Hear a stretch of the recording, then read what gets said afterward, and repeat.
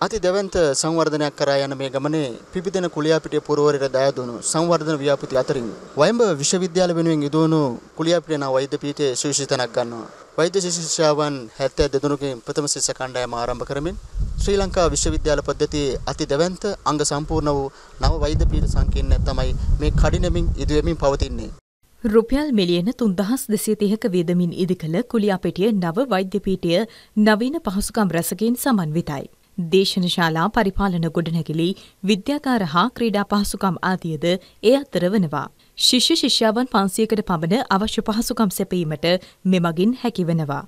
පීට් සංකීර්ණය මට පැහැදිලිවම කියන්න පුළුවන් අංග සම්පූර්ණ පීට් සංකීර්ණයක් වගේ ශිෂ්‍යාවන්ගේ ප්‍රායෝගික ක්‍රියාකාරකම් සඳහා අවශ්‍ය කරන විද්‍යාගාර පහසුකම්, ශ්‍රවණාගාරයක්, නේවාසික පහසුකම්, ක්‍රීඩා පහසුකම් මේ සියලු දෙයින්ම සමන්විත වූ අංග සම්පූර්ණ වෛද්‍ය පීඨ සංකීර්ණයක් තමයි දැන් මේ කඩිනමින් ඉදිවෙමින් පවතින්නේ. නගෝස්ම 31 වන දින උත්සවාකාරයෙන් මෙම පීඨ සංකීර්ණය ගරු අග්‍රාමාත්‍ය රනිල් වික්‍රමසිංහ මැතිතුමන්ගේ මූලිකත්වයෙන් විවෘත කිරීමට සියලු කටයුතු ලහි ලහි සෝදානම්මින් පවතිනවා. ඊටාම කෙටි කාලයක් තුළ ඉදිකිරීම සිදු කර සිසු අයිතියට දායාද කිරීම අප කඩිනමින් කටයුතු කරන යන අතර මෙමගින් වෛද්‍ය සිසුන් 500කට පමණ අවශ්‍ය පහසුකම් සැපයන අතර එමගින් රටේ වෛද්‍ය හිඟයට සහ මතු පරපුරේ රටට අවශ්‍ය වෛද්‍යවරුන් මගින් බිහිවේ රට තුළ පවතින වෛද්‍ය හිඟයට මෙම ව්‍යාපෘතිය මහඟු පිටුවහලක් වනු ඇතයි මම විශ්වාස කරමි.